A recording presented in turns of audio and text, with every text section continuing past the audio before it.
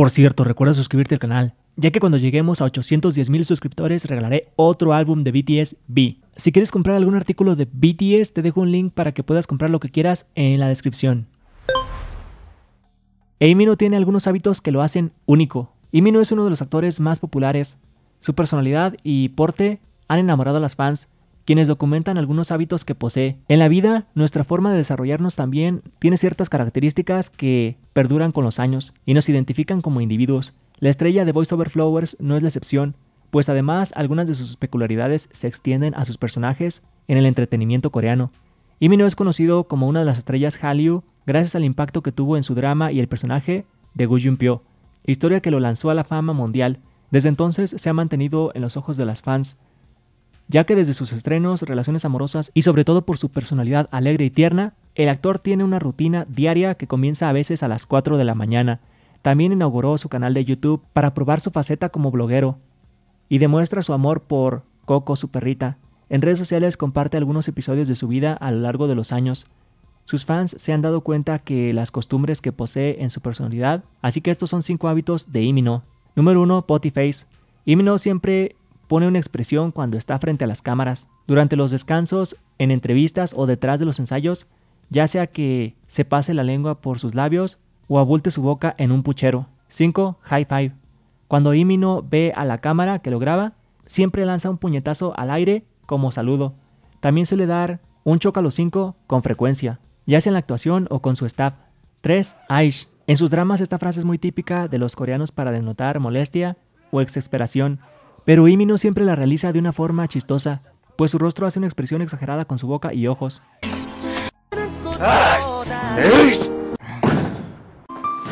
Cuatro manos en la espalda. Imino tiene una postura característica en sus personajes. Siempre posa con las manos en la espalda, luciendo un porte varonil y de la realeza, desde sus primeros personajes hasta el drama más reciente. 5. Alimentación. Imino tiene un hábito muy cute al comer. Siempre envuelve su arroz ya sea que use una hoja de lechuga u otro alimento. También siempre carga una botella de agua. Esta costumbre lo mantiene saludable y guapo. Y bueno, ¿tú qué opinas sobre todos estos hábitos? ¿Y cuánto ganó BTS por el show de New Year Rockin' Eve? Cada año la ciudad de Nueva York reúne a gran número de personas que desean celebrar el año nuevo de una forma especial, ya que además se lleva a cabo un show musical con grandes estrellas a nivel mundial.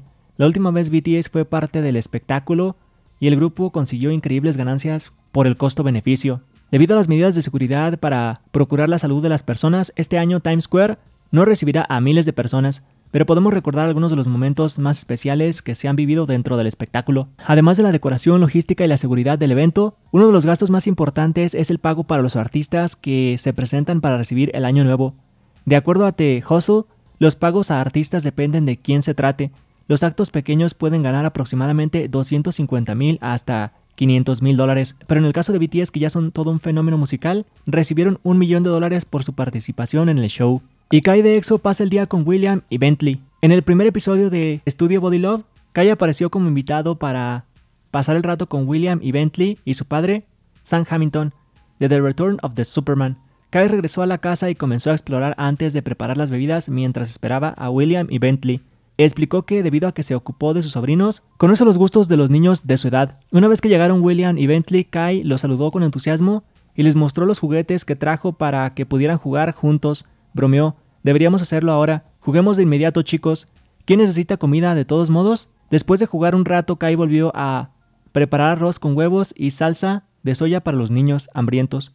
William hizo reír a Kai al comentar, esto debe tener mal sabor, y se ganó el elogio de los miembros de EXO por agregar, ¿por qué solo hay cosas dulces aquí? No quiero comer dulces. El 22 de diciembre se lanzó la segunda parte del episodio 1 que muestra una continuación de su encuentro y el alcance de las adorables reacciones de Kai hacia los chicos. Mientras realizaban un juego de arcade con sus hermanos, Kai reaccionó con entusiasmo a los fuertes gritos de Bentley.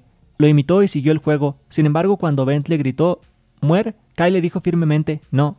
Durante la comida, William preguntó sobre las canciones de EXO, por lo que Kai puso un clip en vivo y les pidió a los chicos que adivinaran dónde estaba. William hilarantemente adivinó incorrectamente tres veces, pero emocionó a Kai cuando finalmente lo hizo bien. Bentley por otro lado gritó, Doggy no puede ser ruidoso, antes de bailar adorablemente con EXO y hacer que Kai lo reclutara en el equipo. Kai también jugó al escondite con ellos, asegurándose de estar de acuerdo con la petición de William para que fingiera no verlos. Por la noche el trío también decoró un árbol de Navidad afuera. Los chicos estaban ansiosos por colgar adornos en la copa de árbol, y Kai lo sostenía para hacerlo. Kai comentó, deberíamos colgar estos en la parte inferior.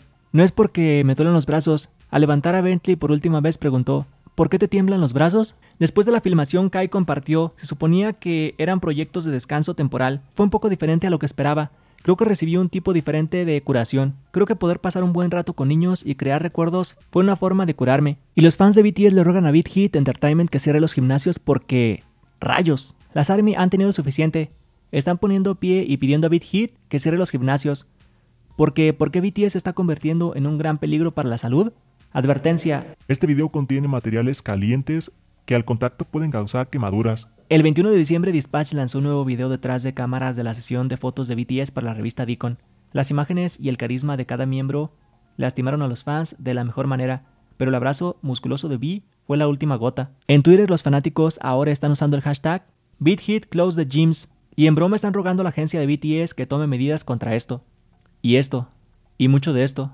Las vidas de los fanáticos eran suficientemente difíciles cuando Jungkook comenzó a crecer, pero ahora se está saliendo de control. Algo debe hacerse bien, por el bien de Suga y la cordura de los ARMY en todas partes. De hecho, en este caso sería mejor si Beat Hit no escucha a los fanáticos. Estimado Beat Hit, por favor no escucha a los fanáticos con el hashtag. ARMY nunca elegiría una manera fácil.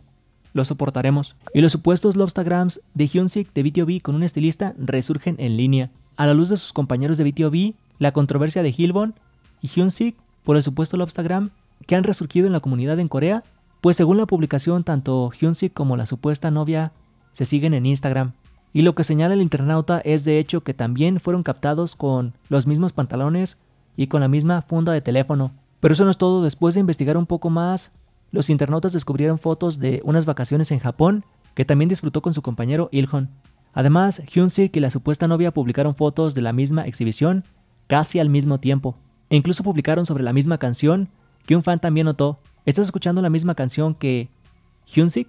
Dijo un fan. Según el internauta, la supuesta novia es estilista de BTOB. En cuanto a la publicación resurgida, los internautas están mostrando reacciones encontradas. Algunos comentarios incluyen, solo una cita es mejor que cometer un crimen. Posiblemente hayan roto si ni siquiera salieran de verdad. Estas publicaciones son tan antiguas, estoy de acuerdo con que salgan, pero publicarlo a Instagram es demasiado. Ya sea un coordinador o alguien más, ¿No se les permite tener citas?